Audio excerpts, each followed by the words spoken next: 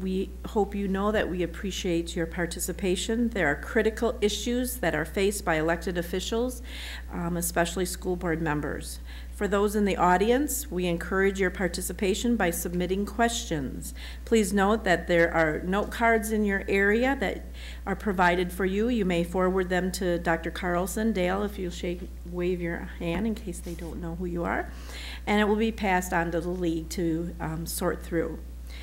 The League of Women Voters are here this evening, and we really do appreciate your participation in this. I think you've been doing this for us since I began in 1996, so um, it's great, and thank you for your longevity. Um, they've committed their time each year to allow for this forum to happen.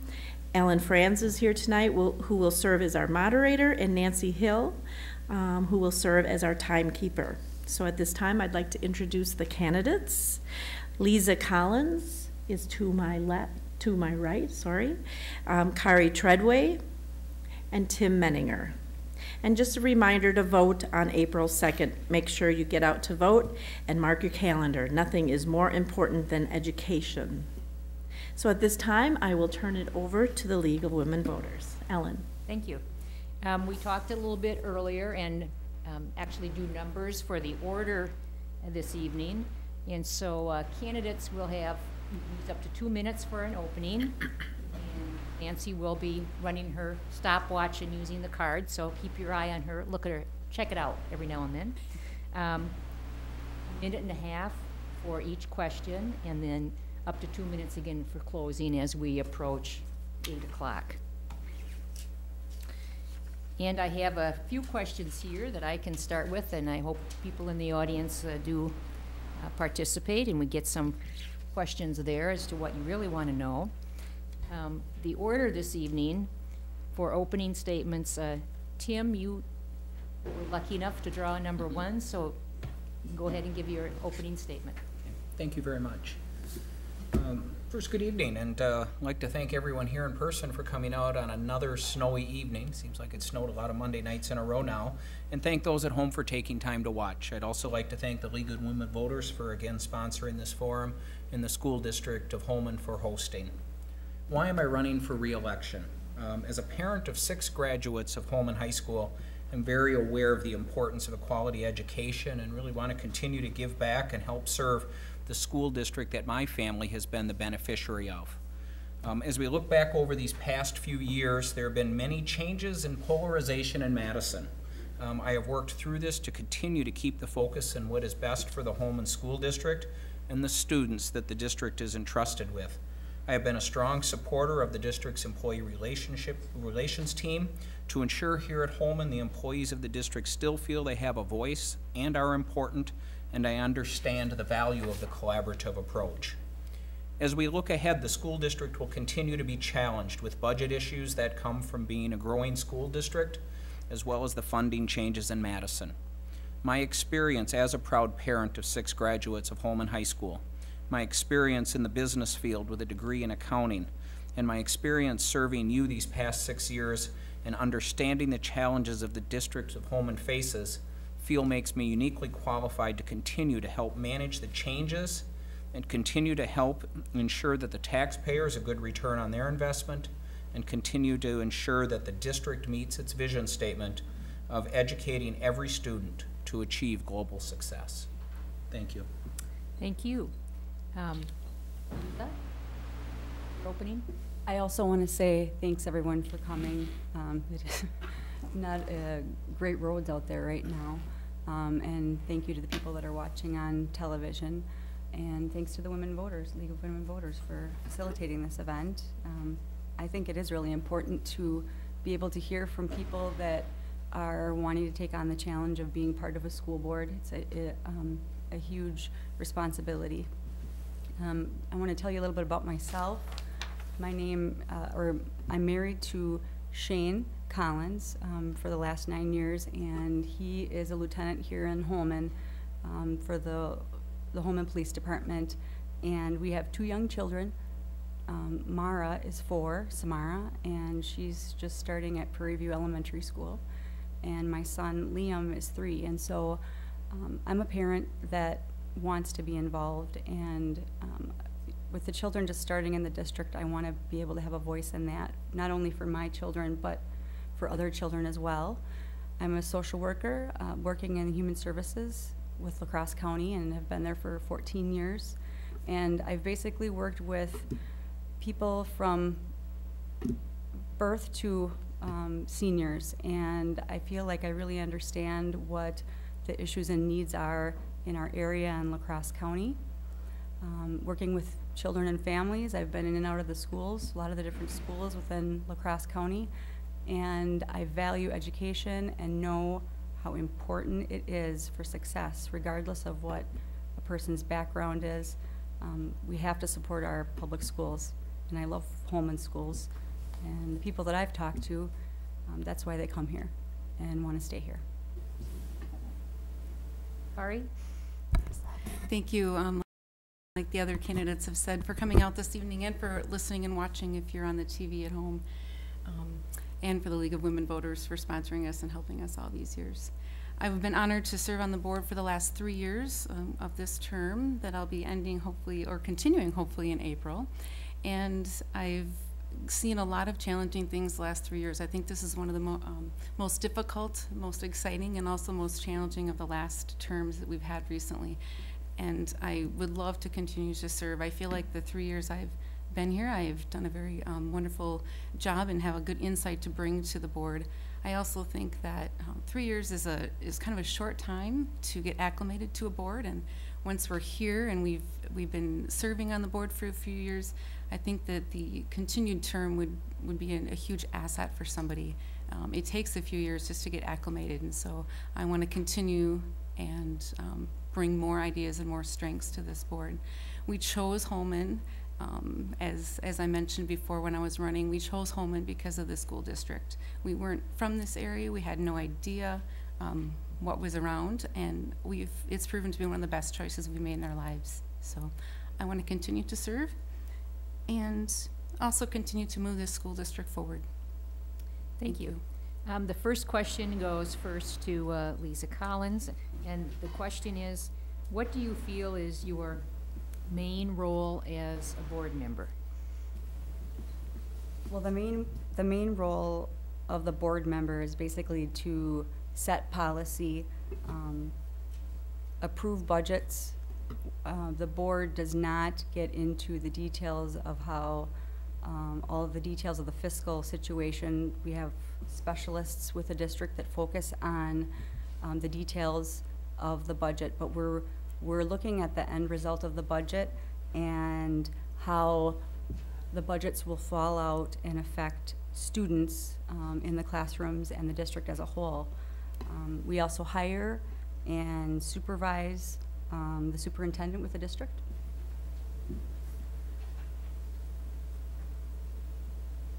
And the question goes uh, next to Tim. I'm sorry, Kari. Pardon me. I feel, um, along with uh, Lisa, the main role of the board is to um, be, I would say, a liaison between the district, um, between the superintendent, and also between the community and the teachers and students to make sure that all of them are working in collaboration with each other um, for the best education for our students as well as the community as a whole and what they're getting out of their education and also what they're getting out of their district, their community um, and the district to serve to serve them. Um, and that um, works into budget, it works into education, it works into staff morale, um, a great place to work, and a great place to live. So I feel that we're that liaison, and we help the superintendent with policies, expectations, and guiding um, him through that. Tim, same question? Yeah, I agree with a lot of the things that, that we've really heard. As school board members, we really are elected to represent the community uh, that we serve, and that's the entire community, um, all facets, uh, whether they have children in school or not. I think the schools are a reflection of the community. It's also important for the school board to remember that they only have one direct report, and that is the superintendent, and it's our job to, to guide and, and counsel that. Uh, but really, the role of the school board is to set that policy and budgetary priorities. And right now, uh, with the challenges that have, have been faced all school districts from the state of Wisconsin, uh, budgeting has become a much bigger role um, and very important that uh, we manage those resources priority to keep the focus on students and to keep the focus on education. Um, and I feel the role is to keep the kids first as we uh, continue to manage those priorities. Thank you. Uh, The next question goes um, first to Kari, and the question, it's actually a two-parter. Um, How important do you feel it is to try and retain valuable employees? What areas could the district strengthen to recruit or retain employees? Well, the first part, I think, um, my, my background in human resources and, um, my current role in, the business that I work for, retention and recognition are the huge, huge functions of what we did, and, and I feel that it's important for every business, and Holmen School District not being any different than other businesses in that capacity. Um, retention and recognition are one of the most important things that we can do. Our most valuable asset is our employees as a business.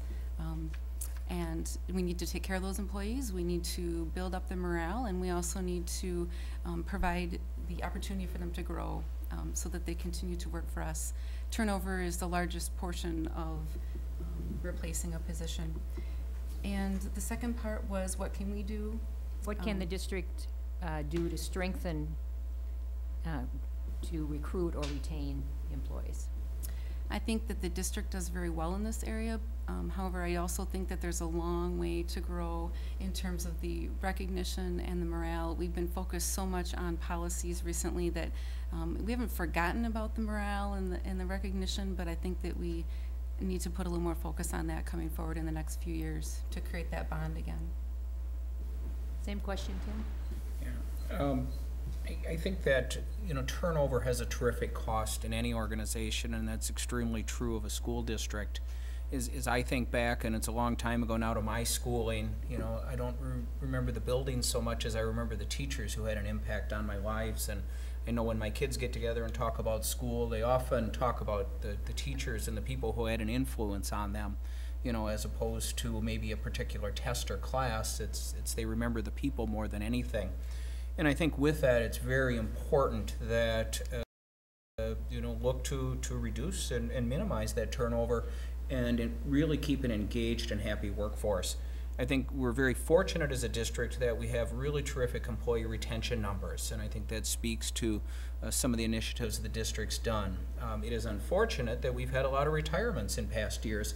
a lot of that is due to some of the changes at the state level that have created an increase in retirement, and when you lose those years of service, uh, that has a direct impact, I think, on the children that I said we're here here to serve what what are we doing and what can we do about it? Certainly, with some of the changes um, in negotiation, I think the district has worked to continue to give the employees a voice through the employee relationships team and reach out to them to let them know that their concerns are heard. Thank you. Lisa, same question? I think retention with staff, all school staff and teachers is probably one of the most important things because our children um, are a valuable asset that we have and we need to be able to provide them with quality educators that can understand and anticipate the students' needs, ever-changing needs, increasing needs. And, you know, in talking with teachers, they seem to want to have a voice in how they do their jobs. They want to be able to collaborate with each other and support each other um, as they work through the Common Core implementation and all these increasing state standards that they have. Um, it's amazing how much they have to do and accomplish with testing and um, making sure all the um, areas are covered for each student. And so being able to talk to administration, give feedback, and feel as though they're being listened to is going to be huge. Um, I also think that being able to have input into how their working conditions are and how they see students um, being affected by class sizes and the stress of the school in general with crowding and more and more students. I think that's really affects teachers and how they feel they can be effective or not. This is a somewhat related question, perhaps, and it goes first to Tim. Um, Would you support the reinstatement of full collective bargaining rights for public employees? Why or why not? I, I think i- i- absolutely here in Holmen, Um, you know, the relationships that I've had with staff have been absolutely wonderful. The collaborative approach through the years to come to um, really working together, and I feel very proud of the fact that the uh, employee handbook that was developed, um, even though it was not negotiations per state standards, the collaboration with the employees relation team and the fact that it, it really patterned after a lot of the things that had been bargained over the years, I think speak to our commitment to continue to do that even with the changing times. So certainly going back to that, uh, I, I feel we've pretty much continued that and, and uh, would, would support that wholeheartedly. Lisa, same question? Being a public employee myself, um, for 14 years with Human Services, I've, I've seen the value in being a union member and being able to work together as employees to come up with solutions. And I think I view um, having really good working relationships with management and workers together, kind of a side by side versus a um, top down approach to trying to come up with solutions. And I would certainly think that employees would be valued, feel valued, um, and that reflects down on students. That you're able to have input and you're able to give critical feedback to how to make this whole educational system more effective for everyone. And so I think it's just a common respect um, to allow people to have a voice. Thank you. Lisa? Or excuse me, Ka- Kari, same question. I feel, as Tim said, that um, I don't think that we've, we've swayed too far from our, the past practice with the handbook that we've created and the process that we've used to create that handbook. And so I would wholeheartedly also support that. I don't feel that we have done a lot different um, with, with the ending of the bargaining rights. And so I, I feel, yes, I would, I would be completely in favor of that. And I think that um, our district has done a really good job maintaining those relationships.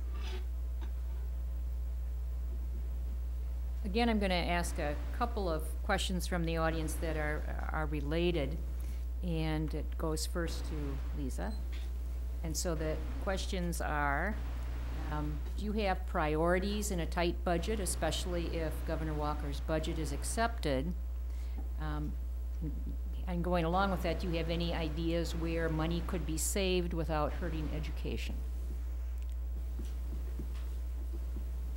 I believe that the priorities need to be with maintaining the quality education that we have through not increasing the class sizes. That's what I'm hearing from parents that I'm talking to, as I'm talking to folks in the district. I'm hearing it from teachers.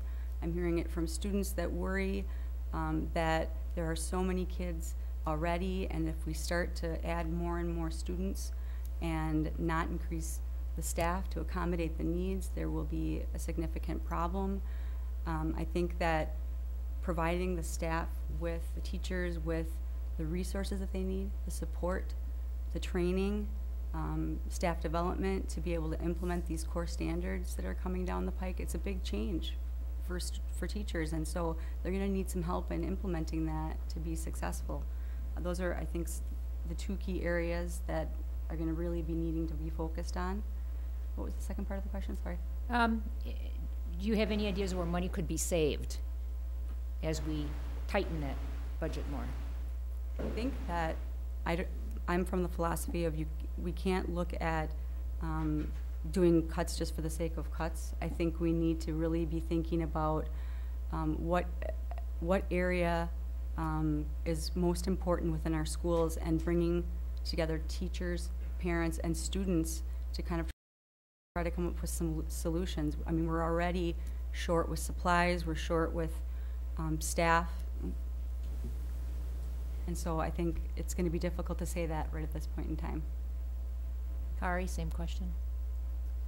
Uh, As Lisa said, I think our priorities are our students and our education here in Holmen, and it's difficult to manage that um, as a priority with our tight budgets. And so um, I feel that there, my initial thought for ways to save and where to cut um, budget would be compensation and um, insurance and looking at alternative ways of doing that. But, you know, as we get closer to the healthcare reform, I think that we're going to be struggling even more in that area. And so, um, as I would have said maybe six months ago, that would be an area to look at. I don't know that going forward in the next year, that's going to even be possible. And so, I do feel that the collaboration with the community, the staff, the district needs to come together and figure out how can we do this, and whether that's certain extracurriculars, um, or having some funding from the families or those participating. Um, I, I guess I don't know until we all come together and talk about it. Tim, same questions? Boy, that is the big question, isn't it? And- Yes, it is. And uh, I know as, as a, a a board, we have been working on this over the last several years as, uh, you know, the, the- the budgets have continued to become a challenge. We've had numerous special meetings. We've looked at our entire budget processing. Um, and I think the priority needs to continue to be on student learning and on the kids, and that's where it needs to be. And I, that's why I got on the board six years ago is, is with that focus on that. And we need to be spending those resources that we have very wisely and make sure that it, it is helping our kids learn better. With that, there are, are all kinds of different ways uh, to make sure we're doing that, but what's gonna have that biggest effect? Um, there are some ways I think we can look to do with that. Um, you know, in- insurance is, is constantly changing, and are we continuing to look for the best way to save money with that? Um, because, you know, there, there can be similar uh, programs, and I'm not saying cut benefits and cut, uh, uh, cut those things, but can we look for different alternatives that can save the district money, as I know some other districts in the areas are done as an area to do that. I also think looking at the cast forward budget, um, is an area that, as a board, we need to continue to look at. Um, and can we look at, at really evaluating to ensure that just because we did something in the past year, doesn't mean we should continue to do that forward? Because, you know, as we talked about, uh, you know, what, what helps those, those best? And I agree, I mean, class size is important. Uh, we don't want to sacrifice quality, but trying to continue to manage that means we do need to be creative and, uh, you know, look at some of those different options is insurance and cast forward, and I know uh, advertising as well, so. Thank you. And the next question goes first to Kari. And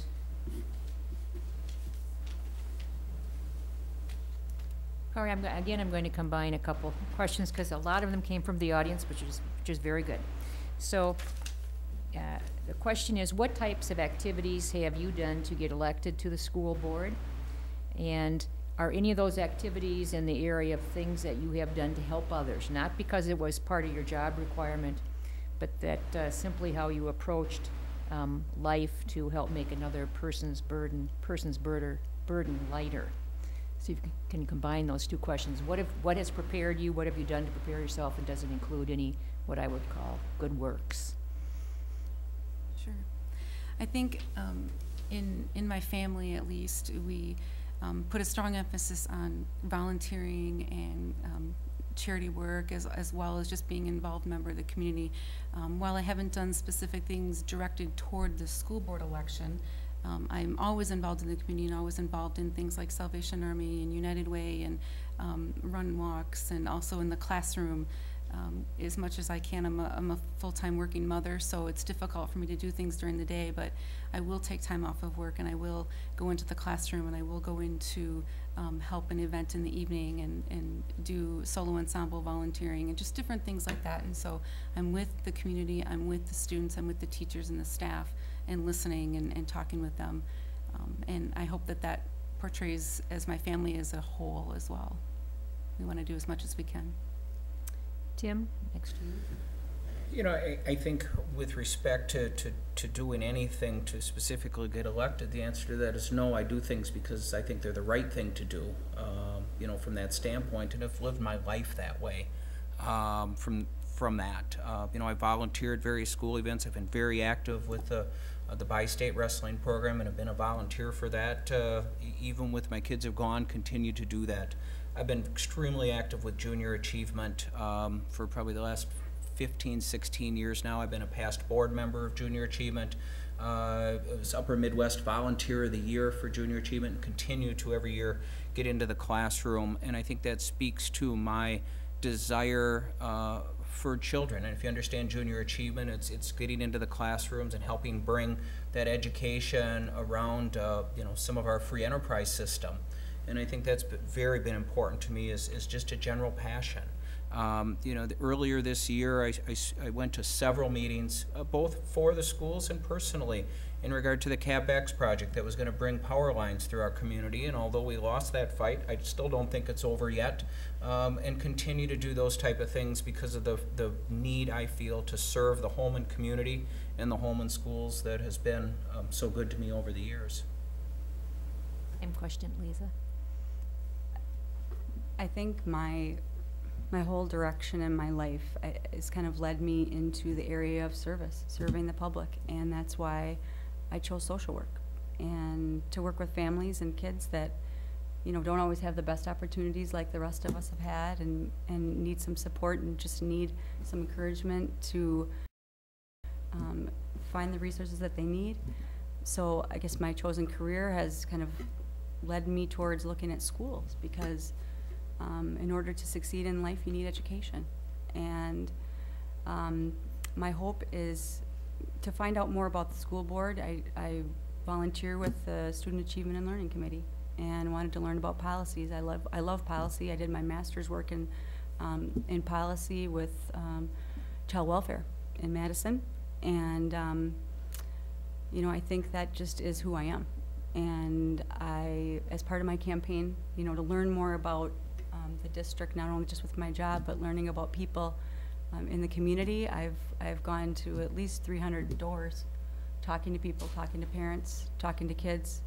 Um, our previous student representative, Brianna Schwabenbauer, set up a great program and invited all the board members to come and tour the schools in the district and listen to teachers and students, and I've really learned a lot. And I don't think I would be able to give much input if I didn't do that.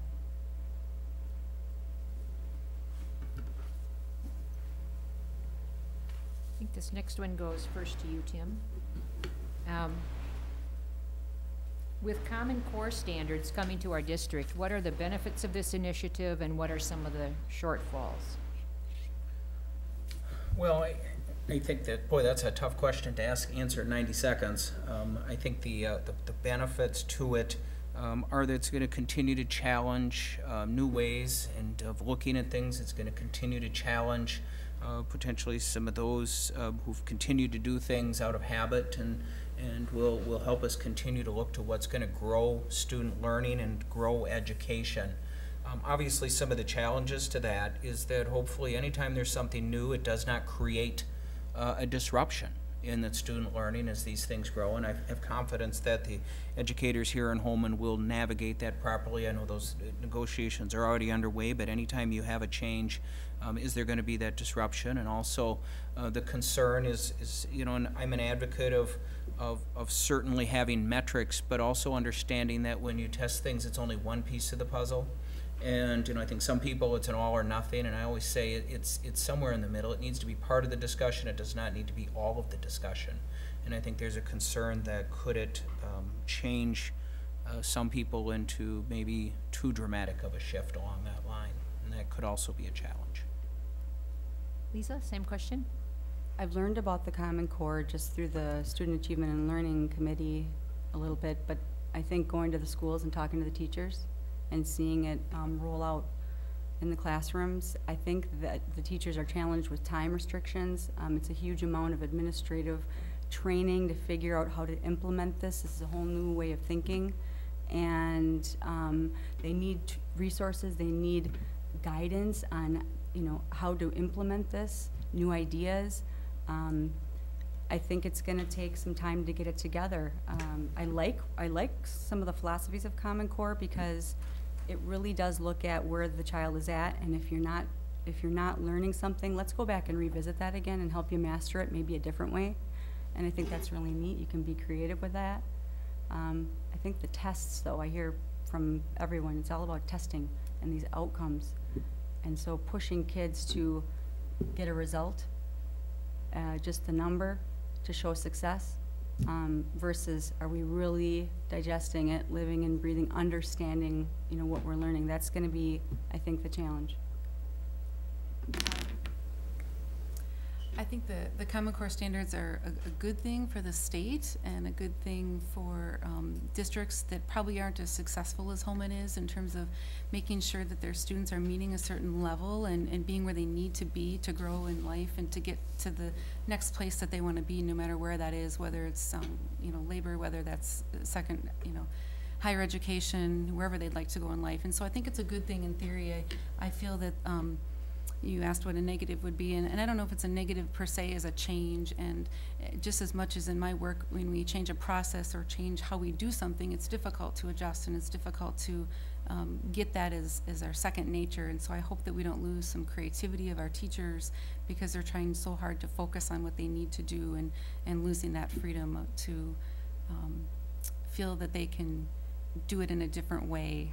And so I hope that we can come back to that once they're more comfortable with the actual standards are. Lisa, this comes first to you. What is the purpose of standardized testing? Are there other measurements we should be using to assess um, our students' success? I think standardized testing can, you know, serve the purpose of trying to look at, you know, how can we evaluate all students um, and look at the district itself and how are we doing with providing instruction. I think the problem is you're going to have a lot of students that are going to fall into the cracks.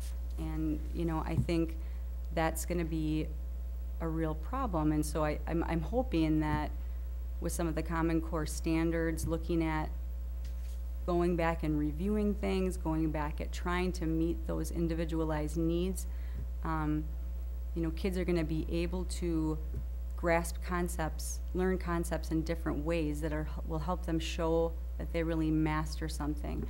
You know, the standardized standardized testing can be, um, I think, problematic sometimes though because you're going to have kids that aren't going to be able to reflect what they know um, based on a standard um, way of evaluating. Um, Kari, same question?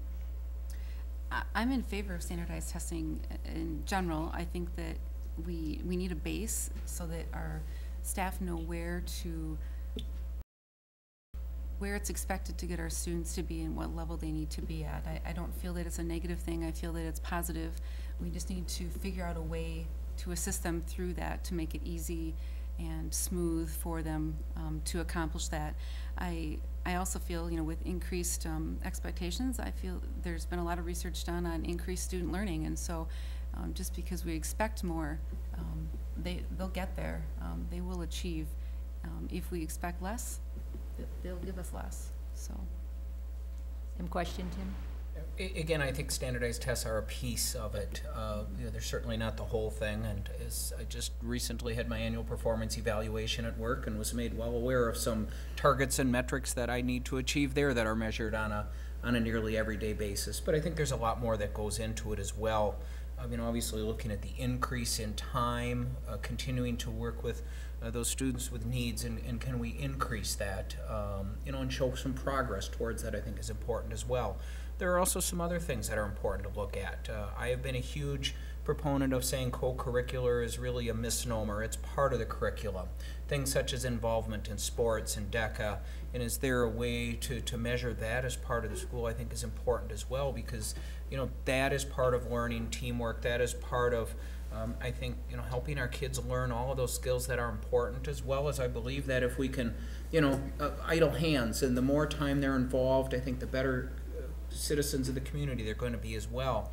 And so measuring all of those things is are important, and I don't think you dismiss any one of those. A test is a snapshot in time, and that's what it is. And it's like any picture; it can be a good picture. Um, sometimes I don't take very good pictures; they're just snapshots. And but using that to to learn um, as a piece. But I think there's a lot of other measures that are part of that as well.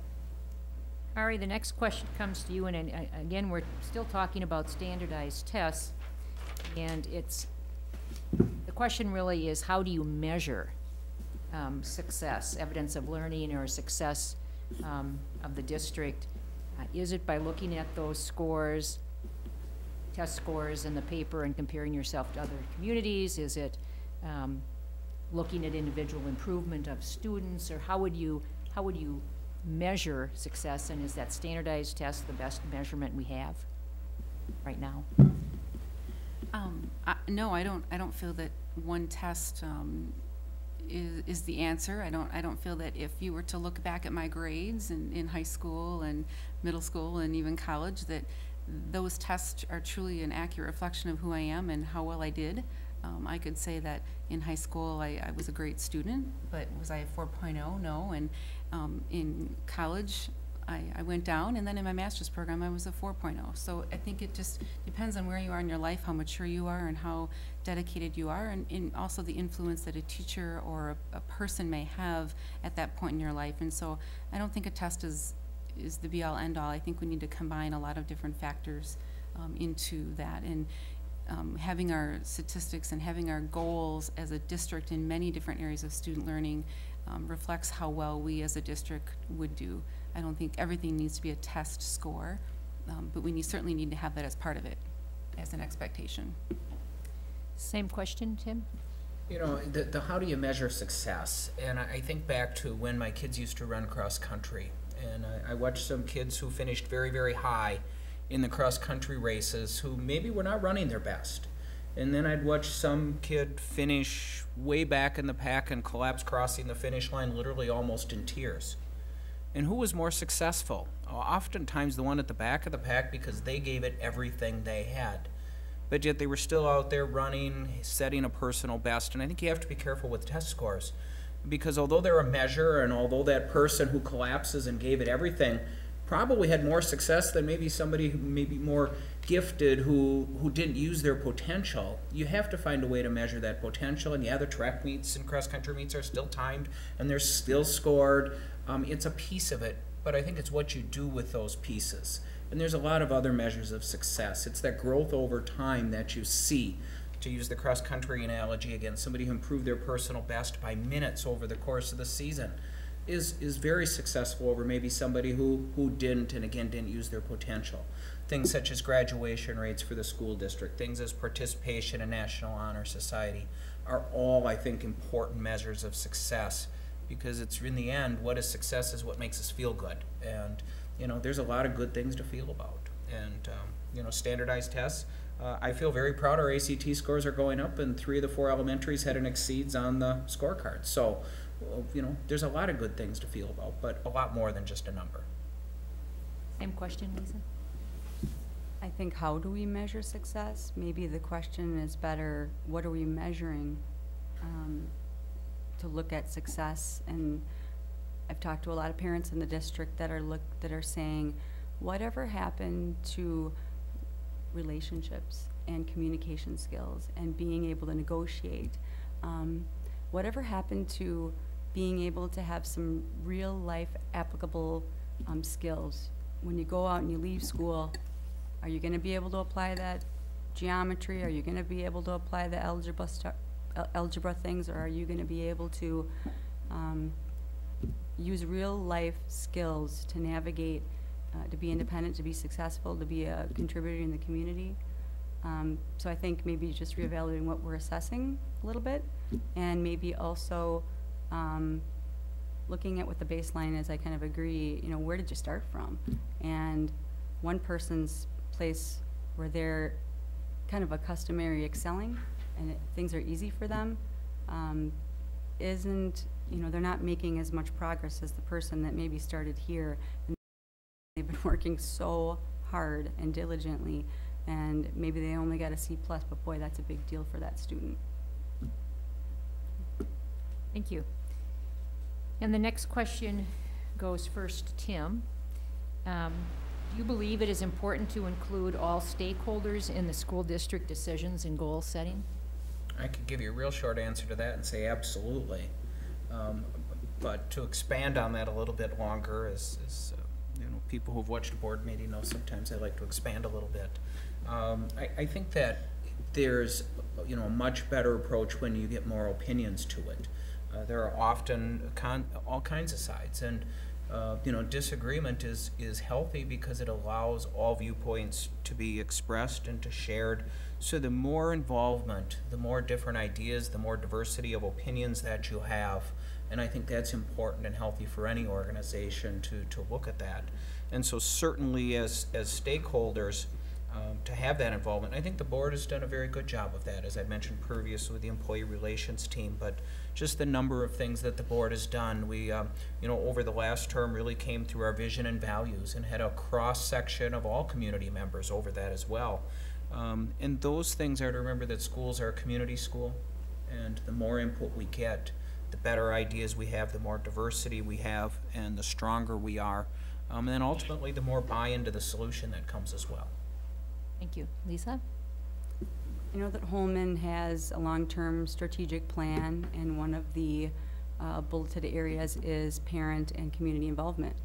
And um, I firmly believe in that. That's um, kind of a philosophy that I live by, is that unless you involve the people that are most affected by what you're trying to work on, it's not gonna succeed. You're not gonna have buy-in from the community. Um, And I think a school district, a board of any kind needs to have transparency. Needs to be able to be open to answering questions of any kind. And we need to seek it out. We have to, can't just say, show up to the meetings. If you, don't- if you don't know, that's your problem. I mean, I, I don't believe that. I think, you know, maybe, um, reaching out to people and parents are saying, gosh, I just got home from work and I, I don't have time. I'm making supper for the kids. I don't have time to be involved in the PTO, but I want to. Um, so I think we really need to make a diligent effort. It sounds like we've done a lot. I mean, just with the committees that have, that are in place right now and having community involvement, um, parent and teacher involvement, and that's a great place to start. Kari, same question.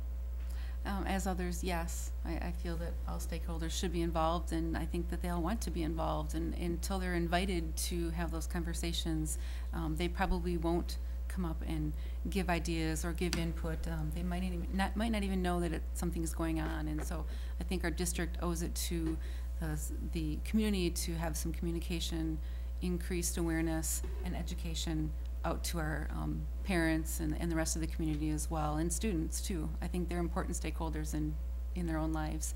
Our example, perfect example is we all do different things in, in our in our world and in our work and in those that don't work, and we all have different expertise. You know, um, finance is not my expertise. I, I, I don't enjoy numbers, and so um, I bring other things to the table. And just as much as I bring something to the current board, um, I think others bring something to the other conversation that we would invite them to be involved in. So we need to remember that everybody has a voice and everybody has a different angle that we may not know about. So, Um, Lisa, this question comes to you first.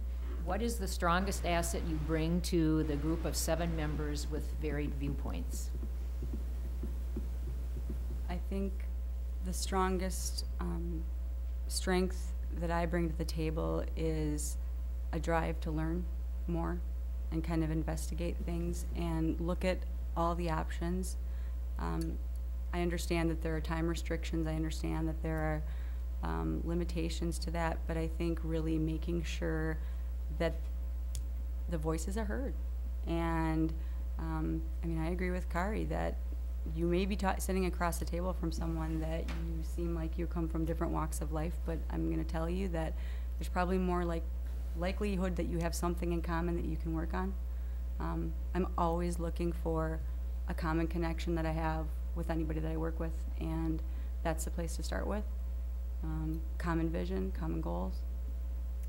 Thank you. Kari, same question?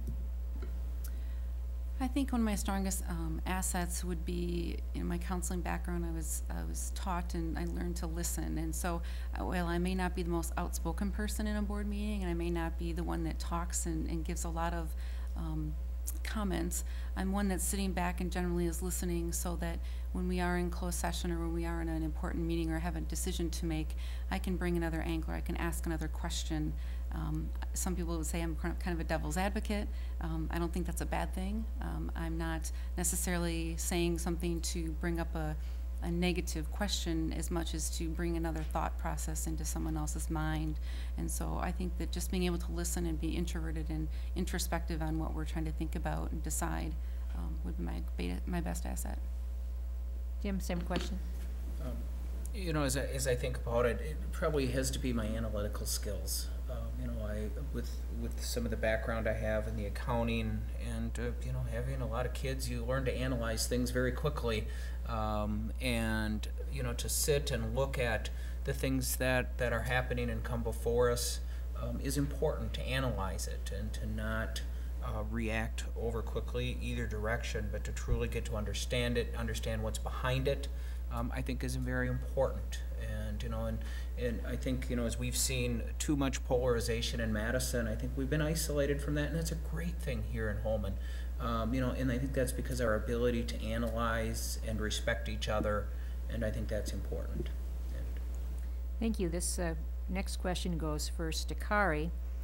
Um, And it asks you to identify the most urgent need of the school district and how your experience on the school board or elsewhere has prepared you to handle it. This is a tough one, because I feel that there's a few, a few that are, are vying for that most urgent need role, and, um, I guess I would have to say, um, budget. Um, and I think that I say that because I sit on the Building and Grounds Committee. There's a lot of unmet needs that we have that the community and the district probably aren't even aware of as of yet, because we're just still working through all those, and, and so I see that and those coming up um, that we'll be presenting, as well as, and as much as I see decreased funding and all those other kinds of things that we need to um, spend time on and money on. And so I think the budget is the, the most urgent need. And I feel that in my current role where I work, um, we've had to deal with this in budget cuts just like other businesses have had to recently. And so trying to find a way to be creative in that has, has prepared me well for this. Thank you. Um, Tim, same question? You know, that is, and as I think about it, it's, it's, it really is a difficult question, because there are a lot of urgent needs. I also serve on the Buildings and Grounds Committee, and, and uh, in my first year on that, and, uh, you know, it's, it's concerning some of the deferred maintenance that has occurred because of some of these budget cuts. However, um, you know, in keeping my kids first, I think the higher need um, is, and again, this isn't diminish the others, and I want to be very careful to say, well, those aren't important, because they are. Uh, but to me, as we look out ahead, I think one of the biggest challenges facing our district is keeping up with the technology needs. Uh, we're going to continue to see, uh, you know, less textbooks in the old-fashioned paper form and more learning through um, iPads and those type of things as, as textbooks become to that. Uh, we've started to um, put in place some infrastructure uh, to go wireless in the buildings, but we need to continue to expand that to ensure uh, that our children have not only the technology to compete in today's world, but the technology to continue to learn um, at the pace they're going to need to going forward. And I think that is a huge, um, urgent need facing the district right now. Lisa, same question? I think the needs are all connected to budgets and increasing in demands for state um, improvements and core, common core standards. Um, looking at the increase in special needs students and students with unique and diverse issues. Um, but I think the biggest need, when you look at everything, is that we have to figure out a way to accomplish this together and really, as a district, as a community, um, collaborate more and be able to talk through difficulties and strategize, because I think we've got a lot of resources here that maybe aren't tapped into yet. Um, I think that although we're low on funding, although, uh, you know, we're continuing to grow, there are some amazing teachers, administrators, community members, businesses that are willing to be part of this, but are we engaging them fully in the process to use the resources that we have? Thank you. I'm Sorry, I'm just reacting to the sound. I didn't know if it meant something or not. Um, I think, uh, we'll do, uh, perhaps one last question unless I can squeeze two in here as we're getting closer to eight. Um, in the question, I guess this goes first to Tim. Would you consider it beneficial to return to a traditional eight-period day at the high school level? Or do you feel block scheduling is the right path to continue on towards the future? Well, uh, anyone who has, has been a, a frequent watcher or attendee at, at some of the meetings know that I've, have questioned that. I don't know the right answer, but I think it does need to be looked at. Um, I have some concerns around the block scheduling, uh, anecdotally from students and parents that I've heard. Um, some concerns anecdotally that they may take a class in the spring of one year, um, and then because of block scheduling, not have that again until the fall of the following year or vice versa. Um, and that's a long time in between subject matters. I mean, with the student learning, um, that can have a, a potential negative impact. I would want to see more data. I would want to see more studies. I would certainly want to involve the opinions of the teachers. Um, but you know, the other concern with the block scheduling is the length of the class period. Uh, you know, to, to hold a, a, a young person's attention for that length of time can also be a challenge. And I think it's important um, as a district that we look at it um, because there are some challenges. You know, when I look at some of the the uh, school report cards on the high school, um, we are lagging some of the other schools in the MVC, and is this an opportunity to help our our students um, improve their education? So, um, I, I my my intuition is I'm not a big fan of block scheduling, but I would certainly want to be open um, to the discussion, and I think it's one that needs to be had. Thank you. Lisa, same question? Um, thinking about the block scheduling and the eight periods a day, um, one thing I have heard in several of the schools that I've talked with staff and teachers and kids is that it's so hard to be shifted quickly from one topic to the next through the through the hallways mad rush to shift their mind frame into the next subject um, i think this rapid processing is tough for kids with the transitions um, however you know i think I agree. Teacher input, student input is going to be huge in figuring out what's going to work best for them to be able to engage, stay engaged, and retain um, the information. So I'd want to hear more from them. Thank you. Kari, same question? I'd like to see a lot of research um, from other districts and other states and other towns that um, have done both and, and what their success rates are in both of those. I, I feel that the block scheduling is difficult um, for students. As Tim mentioned, I think it's difficult to learn something in one year and have a half a year off or even have a few terms off, um, such as math and reading and those kinds of things. I think repetition, repetition, repetition is the way that um, some students learn. Other students learn by um, engrossing themselves in that subject matter for a short period of, you know, for a longer period of time, and, and then they sustain that. Um, there are many different learning styles of students, and I think that we need to figure out overall the average and what's the best thing to do. So I, I'm not a proponent for or against. I, I just think we need to do some education and some research on what's best. Okay.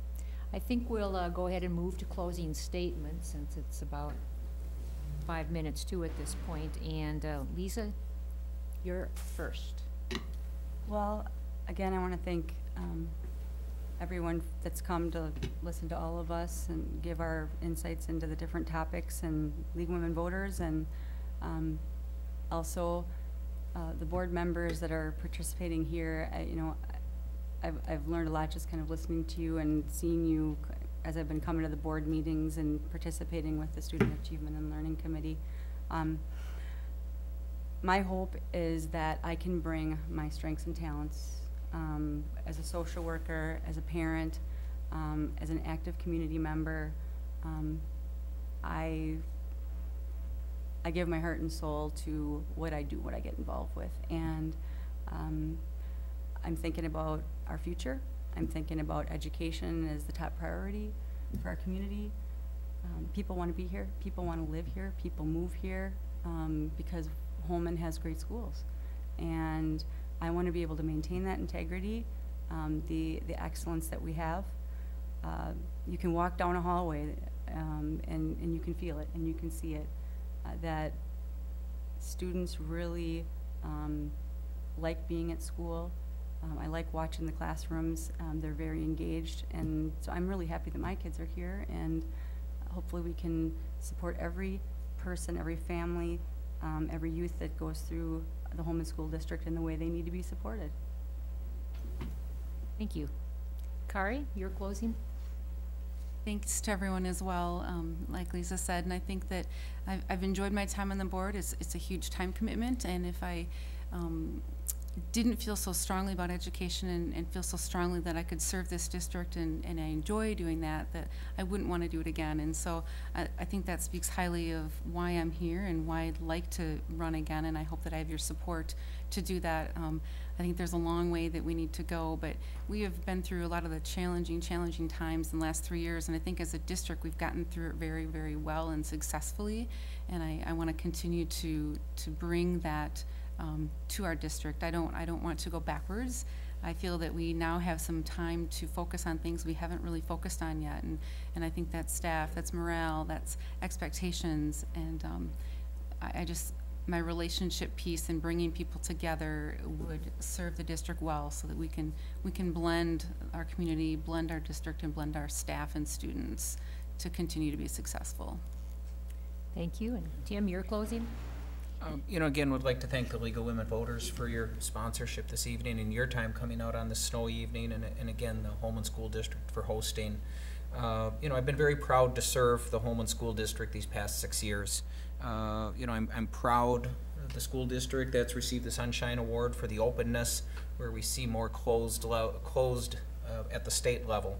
Uh, I've been proud of the work that we've done, uh, working together with staff and the community through these recent challenges to help make Holmen School District better.